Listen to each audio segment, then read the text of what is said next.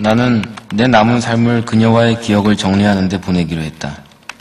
그녀에게 갈 준비를 할 때가 되었기 때문이다. 혹시라도 내게 아직도 미안해하고 있을지 모를 그녀에게 우리의 기억을 선물로 건네며 다시 한번 말하고 싶다. 더 이상 미안해하지 말라고. 나는 행복하다고.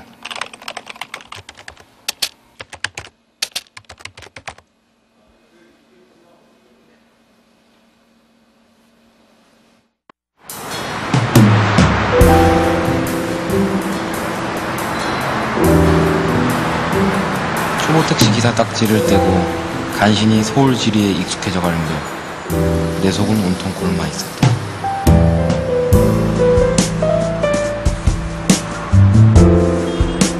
움축달싹하기 힘든 비좁은 공간에서 지루함이라는 지독한 일상과 싸우며 나는 차라리 번개라도 내려치기를 기다리고 있었다.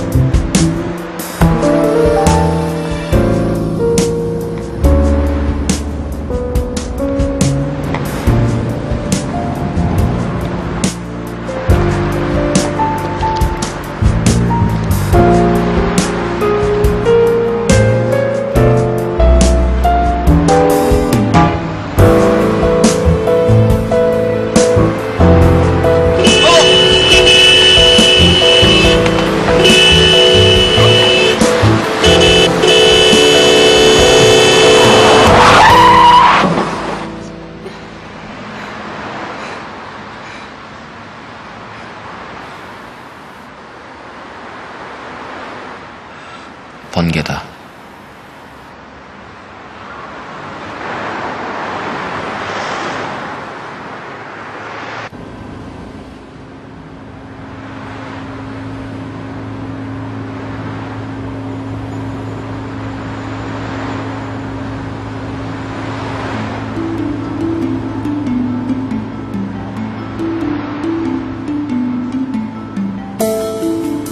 그래서였을까? 그렇게 애타게 뭔가를 기다리고 있었기 때문일까? 아니면 그녀의 눈빛 때문이었을까? 마치 뭔가에 홀린 듯 나는 그녀에게 빨려들었다.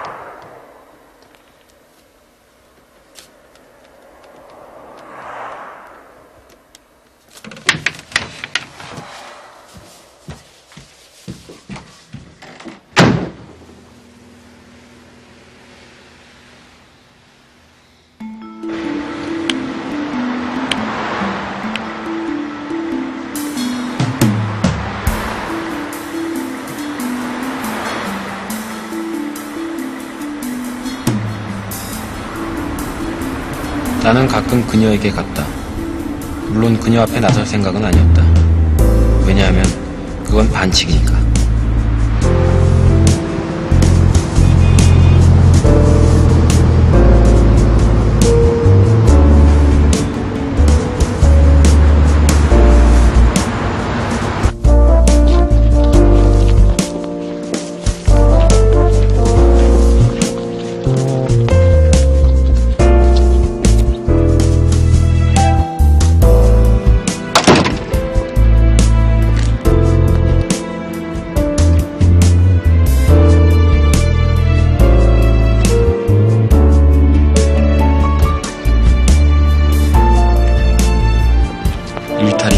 되면 일상이 된다. 그녀를 내 일상 속에 가두고 싶진 않았다.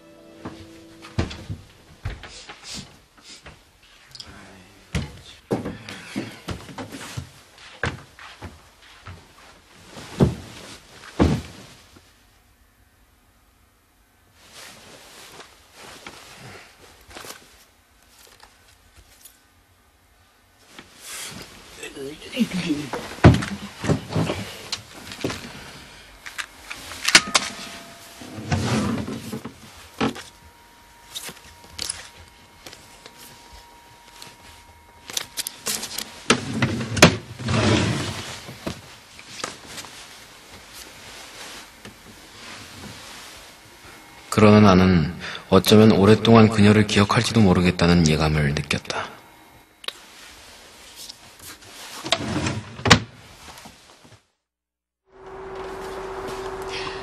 한지수 씨는 복 받을 거예요. 매번 꼬박꼬박 이렇게 좋은 일 하시고. 취미입니다, 취미. 취미요?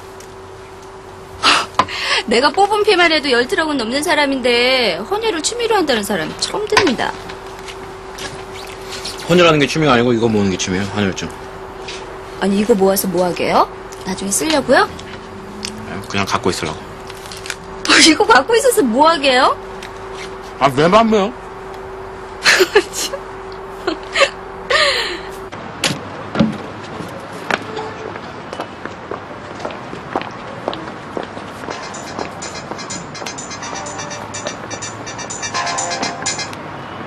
여보세요?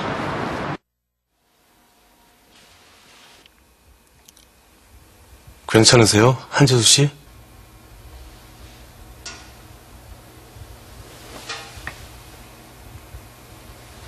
아니, 동원훈련 있다고 불렀잖아요. 근데 무, 무슨 에, 에이즈... 에이, 바쁜 사람 불러놓고 장난치지 마요. 황당하게. 장난 아닌데요? 아, 그럼, 뭐가 잘못됐나 보죠. 예? 나 말고 다른 한- 한재수 가지고 그런 거 아니에요? 응, 동명이인. 이렇게 중대한 거 갖고 헷갈린 짓 안 하죠. 아, 나 진짜 아니라니까요! 선생님, 나는 헌혈밖에 해본 적이 없는 사람이에요. 난 남의 피 받아보고 이런 적도 없고요.